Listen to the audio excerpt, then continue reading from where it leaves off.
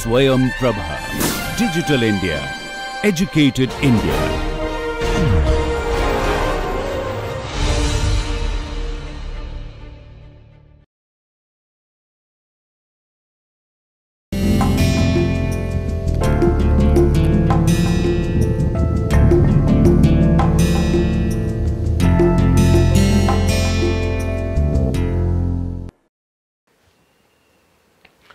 Now, let us look at few considerations in fuel air cycle. So, first is that the composition of the cylinder gases. So, if we consider the composition air fuel ratio changes during the engine operation in every stroke the air fuel ratio is changing right. There is change in air fuel ratio that affects the composition of the gases after combustion such as CO2, CO and water vapor. so, when the combustion takes place all the fuel air mixture gets converted into carbon dioxide plus water vapor. You have the intake. So, in the intake you have some carbon dioxide, water vapor and nitrogen from the previous residual gases. You take the fuel air mixture, mixing takes place. So, composition is continuously changing. When you compress it for, for large part there is no reaction, but as soon as you apply the spark that also happened during the compression stroke, combustion starts, then the composition start changing and then con combustion continues well into the expansion stroke at that time also combustion is continuing. So, its composition is continuously changing. When the exhaust valve have you know and there is dissociation if the temperature is very high dissociation takes place. When the exhaust happens you know temperature falls and because of falling temperature again there may be recombination.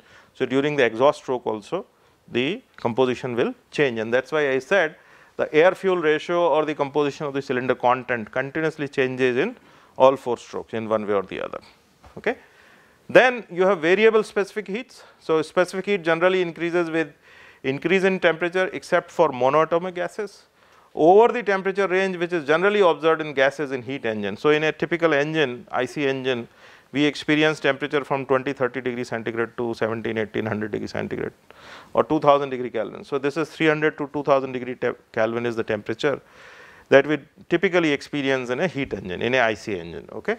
So, if you just look at the relationship that the Cp and Cv follow with respect to temperature is the Cp relationship is Cp is equal to A1 plus K1T and Cv is equal to B1 plus K1T. What is this?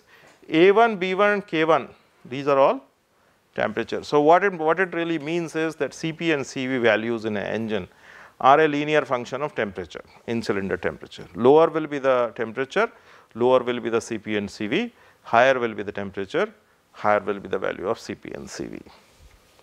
Make sense?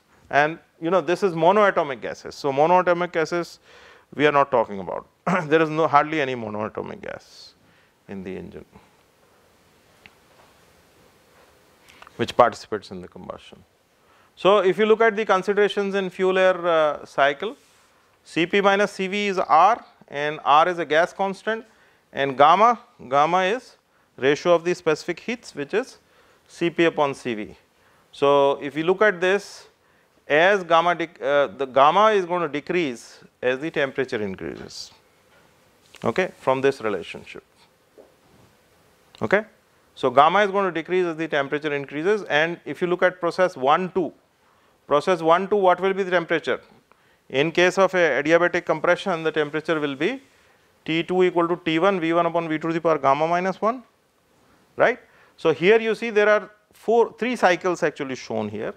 One is the 1 2 3 4 which is nothing but air standard cycle where you have assumed constant specific heats. Okay? So, here you have assumed constant specific heats.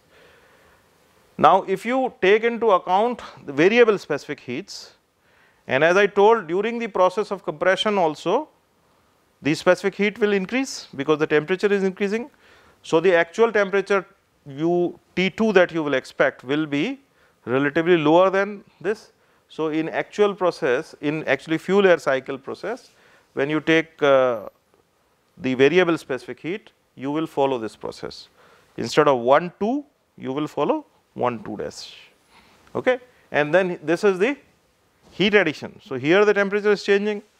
So, temperature is changing therefore, the specific heat will change and therefore, the delta T will also change. So, instead of reaching up to 3 you will only be able to reach T3 okay and then expansion will take place. So, during the expansion process what will happen? During the expansion process you will have reduction in temperature okay. So, you will have reduction in temperature and therefore, there will be reduction in Cp right. So, this line will not be parallel to this because now there will be reduction in Cp. So, delta T will actually increase right for the same. So, this is the 4 dash. So, the cycle 1, 2, 3, 4 is when you assume the constant specific heat and 1, 2 dash, 3 dash, 4 dash is the cycle with variable specific heats. And this is actually wrongly written here, this is 3 dash 4 double dash. So, if you assume this process to be with constant specific heat, only this process, then instead of 3 dash 4 dash, you will have 3 dash 4 double dash. This will be the process with constant specific heat, only for this particular process. Okay. So, if you look at this process T2, if you assume the specific heat to be constant, T2 will be this and in this case T2 dash will be less than T2. Okay. Also T3 dash will be less than T3 since for the given heat release this is heat release at constant volume delta T decreases as Cp is increasing. So therefore you will not be able to increase up to here you will only be stopping here. Similarly T4 dash will be greater than T4 double dash double dash since specific heat decreases when temperature decreases. Okay. So, 4 double dash will be here. So, overall effect is what is the overall effect of the specific heat variation? The overall effect is that you will get lower pressure and lower temperature at point number 2 and point number 3. And therefore, what will happen? This is a PV diagram. So, what will happen? Work will reduce. So, you will have lower work output than the cycle with constant specific heat.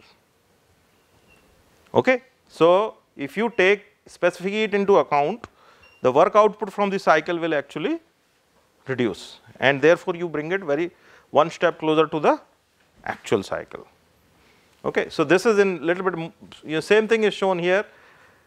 one more thing that is uh, that needs to be seen here is that T3 dash will be significantly less than T3 reason being that where will be the peak temperature in this cycle Peak temperature will be at the end of combustion, right, when the heat is added, full heat is added.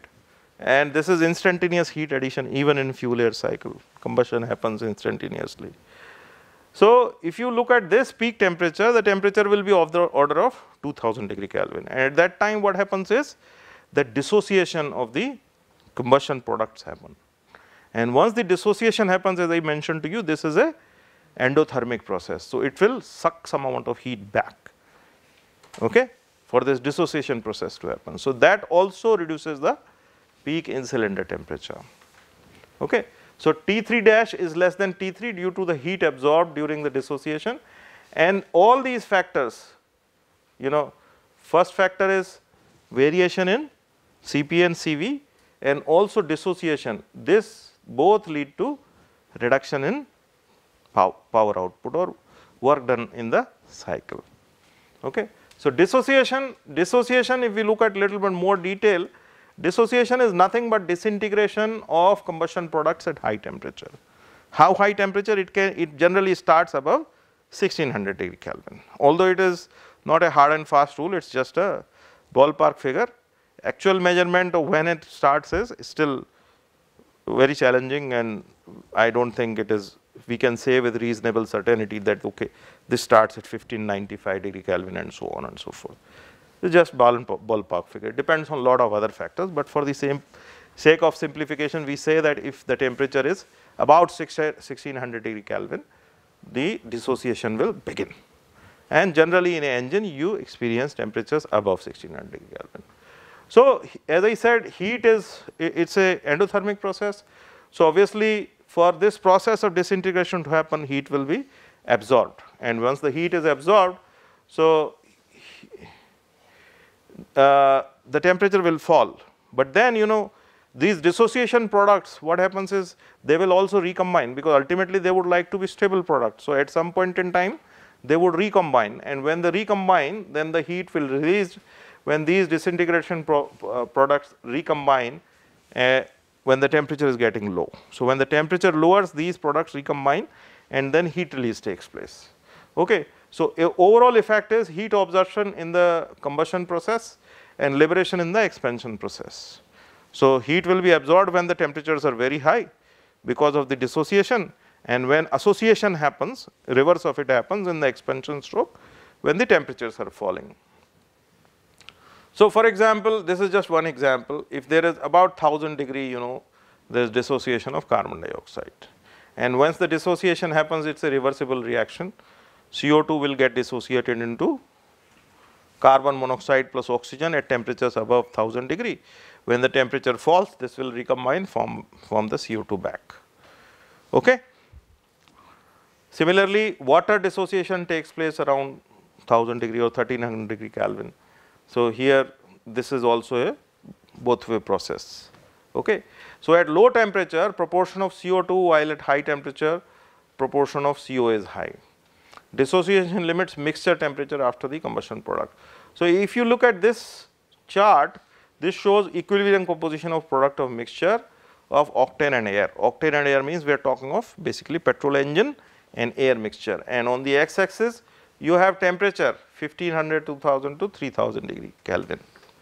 Okay. And here you have combustion percentage by volume various species concentration.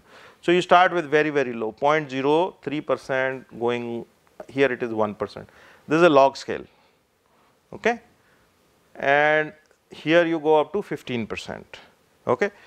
So, what you see here is that you see when the when the temperature is about 1500 you have about 15 percent water vapor and about 10 to 12 percent carbon dioxide, but as the temperature is going down going up you know the concentration of CO2 actually decreases. Concentration of water vapor also decreases. Why it is happening? Because the temperature is very high and the dissociation processes start dominating. Once they start dominating what happens? They will get converted into other species, constituent species.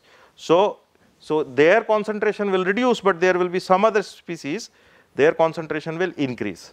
So here you see this is molecular oxygen, this is molecular hydrogen, this is hydrogen concentration, this is NO concentration, oxygen concentration, OH radical concentration and carbon monoxide concentration. So what is really very clearly available and evident from here is that as the temperature increases, carbon dioxide and water vapor, their concentration actually decreases because of the dissociation and these are the dissociation products, their concentration actually increases. So, all this dissociation happens when you are adding the heat and when during the expansion stroke when the temperature falls, these will disappear and they will form this okay, because temperature will fall, temperature will move in this direction. Okay. So, at low temperatures proportion of carbon dioxide uh, is dominant while at high temperature proportion of carbon monoxide is high as seen in this figure and dissociation limits mixture temperature after the combustion. So, because of dissociation you can't really have uh, 8000 degree Kelvin temperature because at that time you know the dissociation all the carbon dioxide and water vapor that you have will dissociate and then it will not allow the temperature to go up and that is why there is a limit on how much you can go. Of course, when you start going how high to this levels you have other problems also. Other problems are that you know the uh, nitrogen atmospheric nitrogen and atmospheric oxygen they start combining and that forms NOx and NOx is a very very bad pollutant because it causes acid rain and your engine then when your peak temperatures are very high. So, instead of engine it becomes a NOx production machine okay and that's that's what you don't want. So, this is another dimension, but uh, even you know dissociation reactions limit the peak temperature that you can obtain. so, dissociation is maximum for chemically correct mixtures because of the maximum heat generation. So, here you see this is degree of richness. So, this is the stoichiometric mixture okay. and here if you go to this side you are basically becoming lean and lean.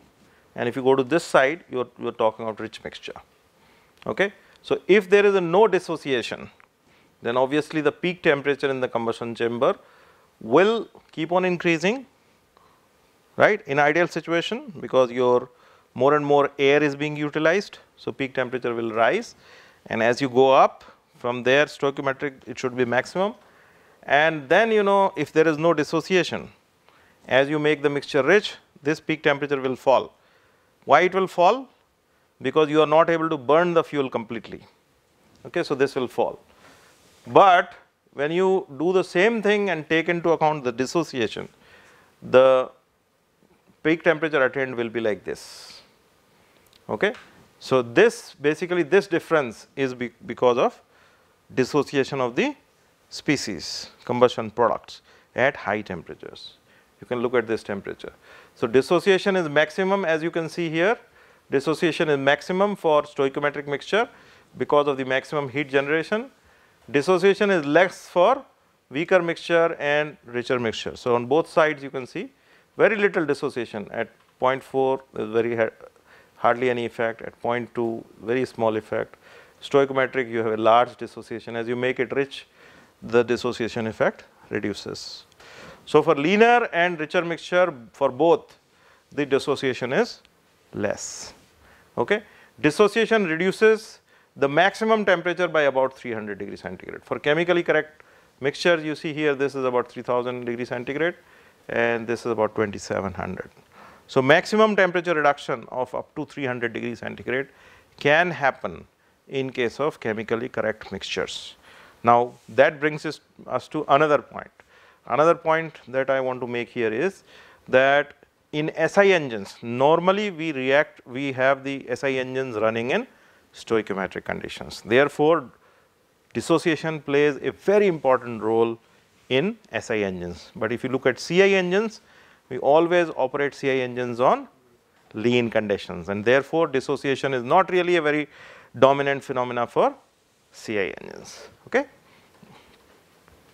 So, shaded area you see here, this is uh, the air fuel ratio, okay. 14.5 or 14.7 is the chemically correct uh, mixture. On this side you have the rich, okay. This is fuel air, air fuel mixture. On this side you have weak or lean mixture, okay. And this is the brake power output with no dissociation. So, as you keep on, if you have rich mixture, your brake power will be low. As you keep on bringing very close to the TDC, uh, sorry, to the stoichiometric, the brake power output will increase. And as you may start making it lean, the brake power output will decrease. So, this is without any dissociation and this is while taking into account the dissociation. So, this is the effect of dissociation on power output. So, power output actually also reduces because of dissociation and this is the specific fuel consumption. Brake power output and specific fuel consumption these are basically inverse of each other. Okay. So, shaded area this is the power loss due to dissociation of these species. Dissociation effect is less in CI engine because of the heterogeneous mixing and the amount of excess air that is available in CI engines. Now, if you look at number of moles the number of moles of combustion product depends on air fuel ratio. As I mentioned to you, number of moles also keep on changing upon what fuel you are taking, what is the stage of the combustion, what is the air fuel ratio that you are using. All this is going to affect the air fuel ratio and therefore, it affects the power output also. This is just a very interesting comparison of PV diagram of air standard cycle and fuel air cycle for SI engines. Okay. So, here you have compared air standard cycle and fuel air cycle for SI engine. Okay. You have taken a compression ratio of 8, volume 1 to 8, right. What did I say? What was the definition of the compression ratio?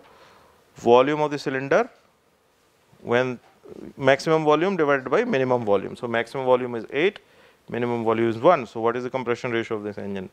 This is about 8. Okay. So, you start from here this is point number 2. Point number 2 is air standard cycle. And then you go to point number 3. This is the maximum pressure. Point number 3, and then from there you come here and then this. So 1, 2, 3, 4 is your air standard cycle. Now let's see what happens. So in air standard cycle the temperature will be peak, I mean in all cycles temperature will be peak at point number 3. So what's the peak temperature? 6310 degree Kelvin, 10 Kelvin. Okay. CV you have assumed to be constant which is 0.718 that's the calorific value of air, not the air fuel mixture, air. And gamma you have assumed to be 1.4 Cp upon Cv. And Q23 that means the heat that you have added, you have fixed it to 3180 kilojoule per kilogram. So that means at a compression ratio of 8, if you add this much heat per cycle, per kilo 3180 kilojoule per kg, you will have a peak temperature of the order of 6310 degree 10 Kelvin and, and with a thermal efficiency of 57 percent and you will generate a mean effective pressure of 21.6 bar. This is air standard cycle analysis. Now what you do, you do air cycle with variable specific heat. That means now you are doing the air standard cycle, but you are changing the specific heat and you are adding the same amount of heat. So, in all this analysis that we are doing, we are adding the same amount of heat. Okay. So, in this case the peak temperature, so now there will be some variation here at point 2, but you will be able to reach only to this point B and from there you come to this point 4 and then. So, this will be the cycle and air this is also air standard cycle. So, here you see the temperature will now reduce to 4030 Kelvin and efficiency will reduce from 57 percent to 49.4 and MEP will reduce from 21.6 to 19 bar.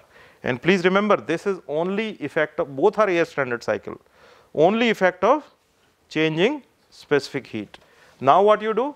You introduce another angle and that is you introduce fuel air cycle. So now all this Cp, Cv etc. that will change, it will vary with the temperature and this will be a fuel air cycle. Okay.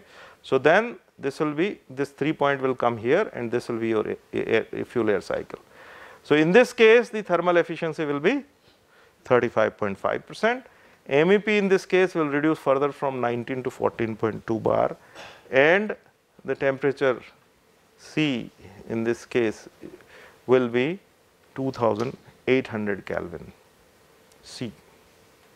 This will be the line that will be followed. Okay. So, here you see in, in both cases, in all three cases, even the temperature at the end of compression is compared. So, in all these cases, you are starting with 333 degree Kelvin, uh, Kelvin temperature intake. So, in all three cycles, the temperature at the inlet is same. Temperature at the end of compression in first case when you are taking air standard cycle with fixed CPCV, it comes out to be 765 Kelvin and then it rises to 6310 and when the exhaust takes place the exhaust is at 2260 Kelvin. Okay. When you take B which is the air cycle but with variable specific heat intake air temperature is same. Here the temperature at the end of compression is 740 Kelvin. And here the temperature rises to peak peak temperature rises to 4030 Kelvin.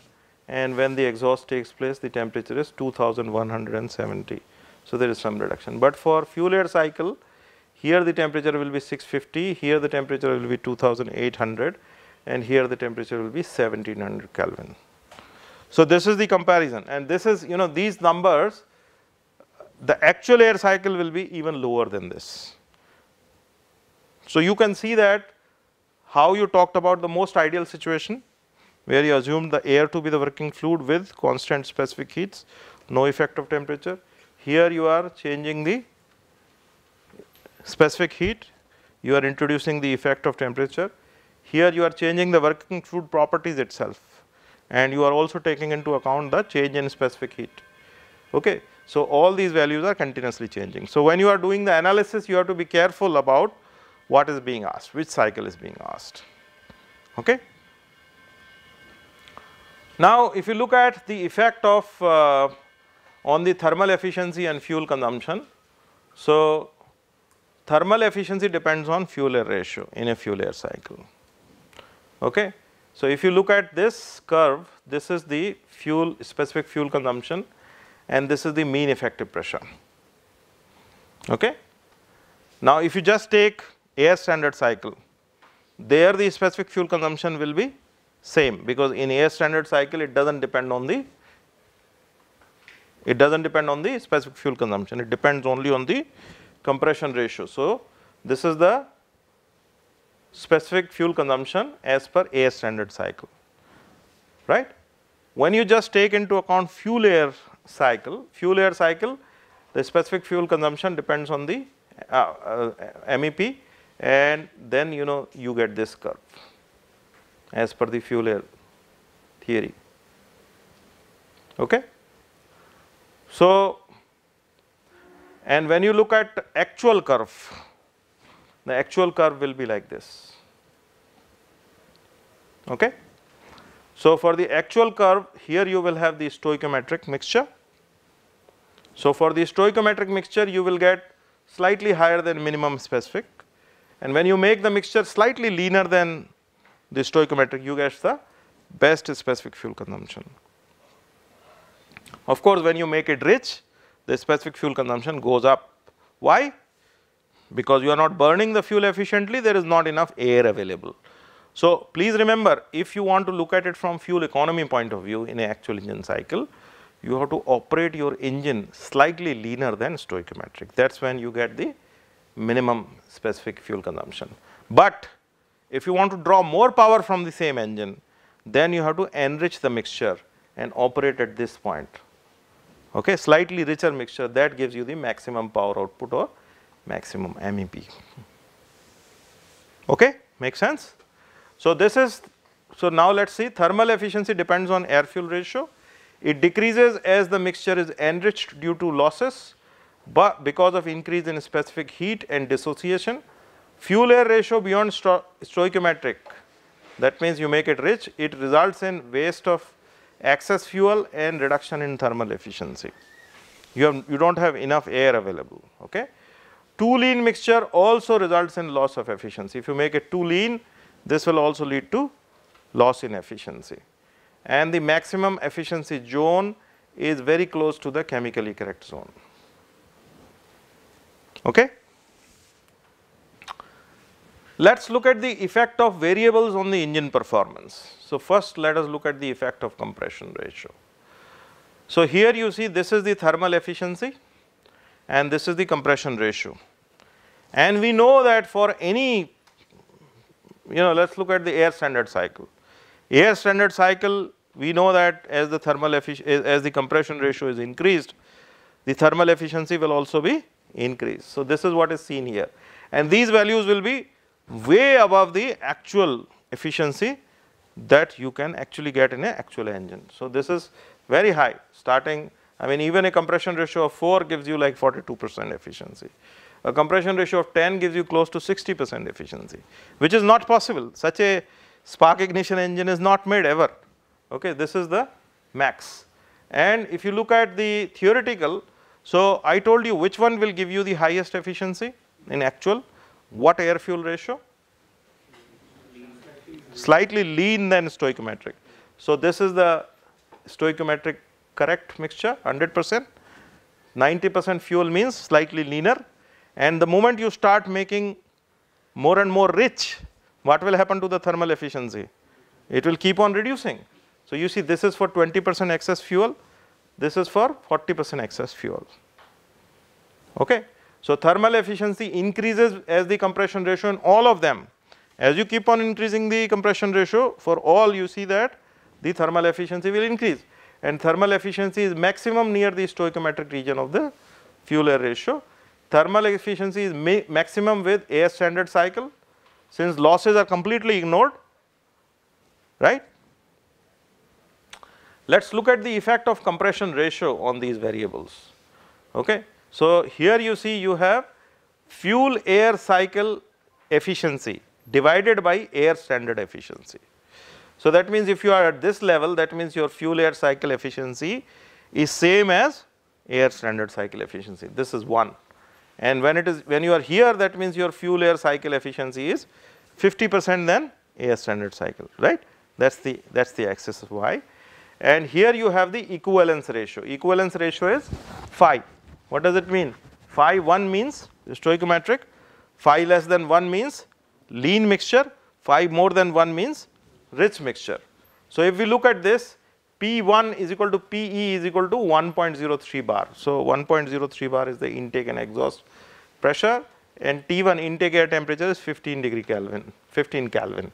That is what is taken here. And then here you know 4 cases are compared where compression ratio of 4, 6, 8 and 10 are used. So, if, if for all these 4 cases, if we take different equivalence ratios and then we do the calculation for fuel cycle efficiency and air standard cycle efficiency, you can see that all of them fall on this curve. They are almost superimposing each other. So, the point that comes out is that you know uh, ratio of fuel air cycle efficiency to air standard cycle efficiency is just about constant for a given air fuel ratio. Okay.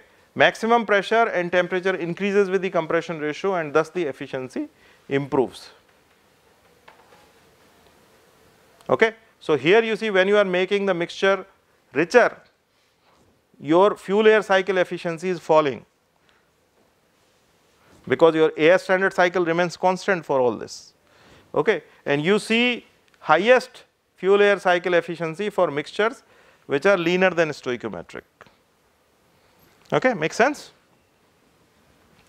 Let us look at the effect of fuel air ratio on the efficiency. So, here you have the thermal efficiency given on the y axis and the mixture strength given on the x axis. This is the stoichiometric mixture. This side you have the lean mixture, this side you have the rich mixture. So, in air standard as per air standard cycle, you know thermal efficiency is not affected by mixture strength therefore, you will have a straight line. But when you take into account the fuel air ratio theory, you will have highest efficiency for leaner mixtures. And this efficiency will start falling when you start making them rich, right, because there is not enough air available. In actual curve is like this. In actual you your actual curve will be lower than fuel air cycle curve and it will really fall when the mixture is too weak and it will be highest for mixture which is slightly leaner than stoichiometric and richer side it will fall. Okay. So, this is just the comparison of the thermal efficiency curve with equivalence ratio or mixture strength using air standard theory, fuel air theory and actual cycle. Okay. So, slightly lean mixture gives you lower specific heat and lower temperature rise and therefore lower uh, chemical equilibrium losses and therefore more energy will be available for piston work and therefore there will be higher efficiency. Since there will be low temperature rise the effect of dissociation will also be relatively lower and therefore you know more energy will work on whatever is generated that most of it will be available for working on the piston. That is why your thermal efficiency is high in this zone. Okay? Let us look at the effect of fuel air ratio on maximum power. Okay? So, here you have the maximum power output on the y axis and here you have mixture strength expressed as a percentage of chemically correct. That means, this is the stoichiometric mixture, this side you have the lean mixture and this side you have the rich mixture. So, as per air standard cycle, you know this is the air standard cycle theory, this is the fuel air mixture cycle theory and this is the experimental curve.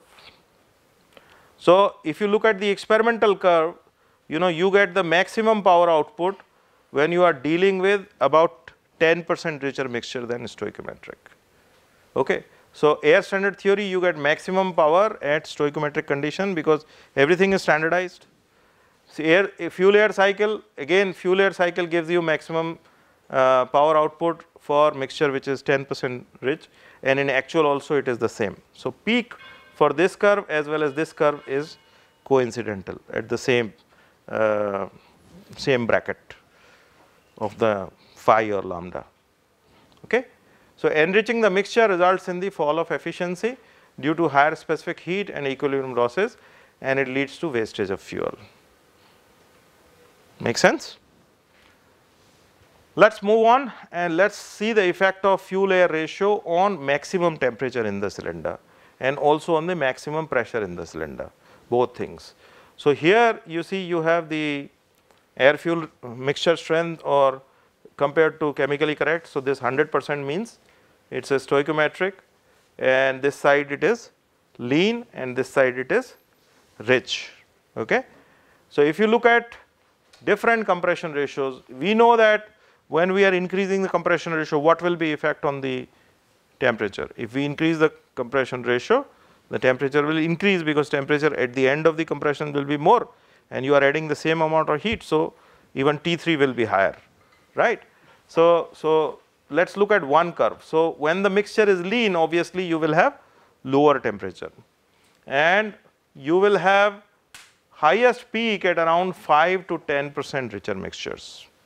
Okay and as you make the mixture rich further the peak temperature will fall. So, this is for air fuel ratio of 10, this is for air fuel ratio of 8, 6 and 4. So, this is the trend and this is the these are the temperature values that you experience in the engine. Okay? Let us look at the pressure. Pressure you know compression ratio has more profound effect on the on the pressure. So, here this is the pressure 4 bar, 6 bar, 8 bar and 10 bar and pressure peak is experienced at around 15 percent. This peak is around 5 to 7 percent and this peak it is around 15 percent richer mixture compared to stoichiometric. So, let us look at this effect on a maximum temperature. Maximum temperature is available, peak is seen at slightly richer mixture which could be 5 to 7 percent richness compared to stoichiometric and the reason is uh, that at stoichiometric condition, some oxygen is left due to dissociation. Okay. So, since some oxygen is generated, therefore, there will be some fuel energy which will not be, which will be, which will be, which will be remaining in the combustion product unutilized. So, if you put little bit more extra oxygen, all, all the fuel will be burning and therefore, your peak temperature will be higher. So, some oxygen is left due to dissociation effect hence slightly rich mixture will result in more fuel to combine with oxygen. Okay.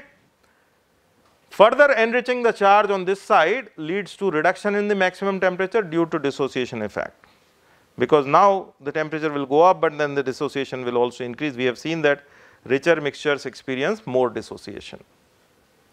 Okay. If you look at fuel air ratio, and effect of the uh, maximum pressure on it. Maximum pressure depends on the temperature and the number of moles. If the number of moles increases, then pressure will rise. Okay. So, so this is the similar trend for as that of maximum temperature. The only thing is that peak will be around 10 to 15 percent uh, richer mixture. Okay. And here the effect of compression ratio is more prominently seen. As you keep on increasing the uh, compression ratio, the peak pressure will be become higher and higher and higher. Okay. Let us look at the effect of fuel air ratio on exhaust gas temperature. This is the exhaust gas temperature T4 which is shown on the y axis and this is the chemically correct mixture, this is the lean mixture, this is the rich mixture and here you can see that if the mixture is lean you will have lower temperature as you keep on mixing the increasing the mixture strength go up to stoichiometric that is when the peak comes. And if you make it rich obviously then temperature will fall so exhaust temperature will also fall. I think this is not correct. This should be just reverse. Okay here this should be 10 8 6 and 4 okay this is wrong here so, maximum exhaust temperature occurs at stoichiometric condition as fuel and air are completely used and dissociation effect is less.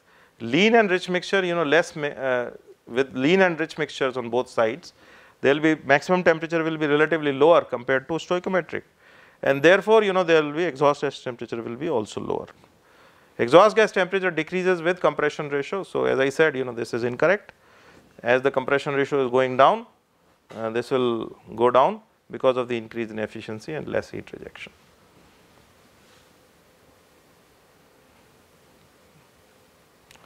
Okay, I have to check this, but I think I am reasonably sure this is incorrect. so, if you look at fuel air ratio, the effect of fuel air ratio on maximum effective pressure. So, this is the uh, stoichiometric and this is the lean side, rich side and here this is MEP. So, MEP also depends very strongly on the compression ratio and MEP is maximum for around 10 peak is seen at around 10 percent richer mixture. So, MEP increases with increase in compression ratio because of increase in efficiency. So, higher will be efficiency, higher will be MEP. At a fixed compression ratio, maximum MEP occurs at slightly rich mixture, about 10 percent richer mixture compared to stoichiometric, similar to the case of maximum temperature. Okay. So, now you see uh, I will just briefly introduce the uh, actual air cycle and deal with it later in the next class. The analysis of the fuel air mixture predict better results compared to air standard cycle. Okay. But still it is not so close to the actual cycle because there are many assumptions. Okay. So, even though each of those assumptions is going to lead to some inaccuracy somewhere where we will see later. The working substance is a mixture of air and fuel vapor or finely atomized liquid fuel as in case of diesel engine, fuel vapor in case of SI engine uh, in the air with the combined with the products of combustion left from the previous cycle. So, it is a cocktail of lot of things. Okay.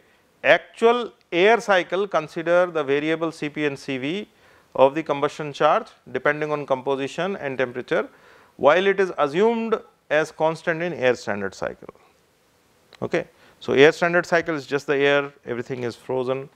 In actual cycle there is progressive combustion of mixture but in air standard cycle assumes instantaneous combustion at TDC. So, even in fuel air cycle we are assuming that it burns everything burns quickly when the volume is minimum, but in actual cycle combustion is a is a process which takes few crank angle degrees. So, it starts before you reach TDC and it goes well into the expansion stroke. So, this also leads to lot of inaccuracy. The actual cycle analysis consider additional losses okay, that are considered in uh, compared to the losses that are considered in fuel air cycle. So, in actual cycle all those effects of in, you know friction and heat transfer and air motion all those are also accounted for which are not considered in fuel air cycle. The analysis of actual cycle provides results that are closest to, uh, to that obtained from actually running the engine. So, if you want better then you have to actually run the engine. But if you just use a pen and paper or maybe a small computer program, then fuel air cycle gives you the best results. If you want better than that, then there is no choice but you go for experiments. Okay? So, then if you are doing experiments, you have to use sophisticated measurements, do the uh, take the data and do the analysis. That will give you the actual real gold standard what is happening inside the engine. So, just a very brief overview of the cycles. So, if you look at the cycles you know we, we looked at air standard cycles. Air standard cycle is when we are assuming everything to be ideal this is the first stage of analysis uh, and then this is highly idealized never achievable. Then what we do is we correct for the characteristics of fuel air composition, variable specific heats, we take into account dissociations and number of moles of you know uh, reactants and products into the account and then air standard cycle is converted into fuel air cycle. And then you know if you modify this fuel air cycle to take into account for the combustion duration because in fuel air cycle heat is added instantaneously if you but the combustion lasts few crank angle degrees. So, time loss, heat loss, blow down losses, friction, air motion, all these things when you take into account, then you get actual cycle. Okay. So, let us just look at uh, losses in the actual engine cycle. So, the actual engine cycle deviates from the air standard cycle for the uh, following. First is the time loss factor. What is this time loss factor? So, this is due to the time required for mixing of the fuel air mixture and complete combustion. So, in real life mixing and complete combustion takes time, but in air standard cycle we assume it to be instantaneous. For example, what happens in real life? You know, let's look at it. So combustion typically start 10 to 40 crank angle degree before the top dead center, both in SI engine and CI engine. That's the range. That's when either you apply the spark or you start injecting the fuel. And it's about half completed 10 degree after top dead center. Okay? And complete, essentially completed 30 to 40 crank angle degree after TDC. Okay? Some combustion, some slow reactions, what we call as uh, late heat release continues well into expansion stroke, but it really does not contribute any meaningful energy for the useful power generation. Okay. So, we say that it is essentially over 30 to 40 crank angle degree after TDC. Peak pressure, the pressure peak, if you look at P theta diagram, the pressure peak is obtained at about 15 degree after top dead center. In diesel engine, the burning process starts shortly before the TDC. Okay. So, combustion starts shortly before TDC. You inject the fuel 10 to 40 crank angle degree depending on speed, load and so many other factors. The pressure rises rapidly to a peak somewhere between 5 to 10 crank angle degree after TDC since the initial rate of burning is very fast. So, in a diesel engine basically what happens is when you are injecting the fuel part of the fuel evaporates very quickly and form vapor mixture remaining fuel uh, remains in liquid form. And this whatever is available in uh, vapor form that burns very quickly that is called premix combustion and that happens very quickly. So, all that charge is converted to carbon dioxide and water and then what is left it is the liquid. Then that liquid has to absorb more and more heat, vaporize, mix and then burn. So, that second part where this all these processes are happening that is called mixing controlled combustion and it is relatively slower process.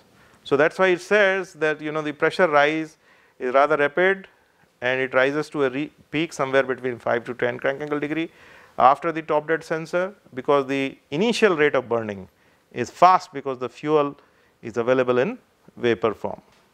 Okay. There is an ignition delay period.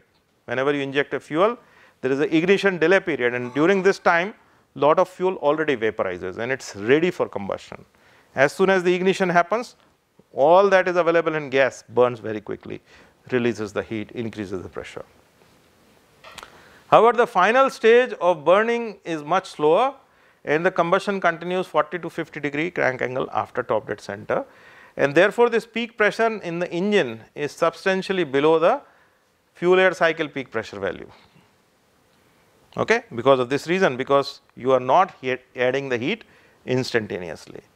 Because combustion continues well after top dead center when the cylinder volume is much greater than the clearance volume.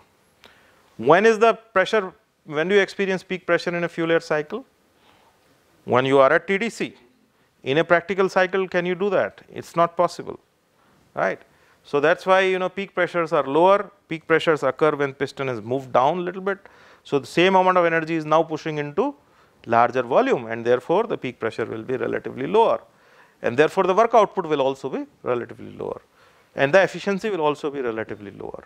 So, the peak pressure expansion stroke pressure in the engine are higher than fuel air cycle values in the absence of other loss mechanism because less work has been extracted from the cylinder gases. Okay. This is my last slide for today and what you can see here this is the pressure on the y axis and this is V cylinder by Vc. V cylinder by Vc is basically clearance volume. So, it is a it is a very very bad kind of spark ignition engine with a compression ratio of about 6. So, anyway this is just for a comparative purpose so, you see this is the fuel air cycle 1, 2, 3, 4. Okay. So, the actual cycle will be this the one in white okay and then you see there will be lot of issues for example here you see uh, your combustion starts so some heat will be added so, the pressure will start rising. So, instead of this pressure because the heat addition there will be some pressure and here the expansion starts. Okay. So, this will go only up to here not up to here and when you come here if you make a isentropic expansion curve from this point, this will be that curve 3 dash 4 dash passing through C. But you never reach 3 dash, you only reach C and you never reach 4 dash because there is nothing called isentropic in real life. The actual curve will be much lower. And then when you come here, you have to actually open the exhaust valve before you reach the bottom dead center. Why? Because you want to take into account blow down effect. The gases should go out just because of the their pressure is higher than the atmospheric pressure so that you don't have to push them out. So you sacrifice this small area, this small amount of work you sacrifice so that your pumping work actually reduces. Okay. So this is the comparison of fuel air cycle with the actual cycle. Okay. And this is the effect of time loss which is shown on PV diagram. Okay. So I think I will stop here and I will continue in the next class. Uh,